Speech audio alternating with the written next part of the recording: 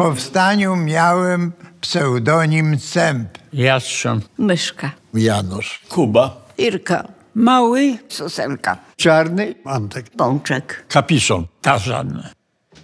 Od czasu, kiedy miasto się nami tak naprawdę zajęło, jesteśmy zaopiekowani. Ta opieka to się czuje.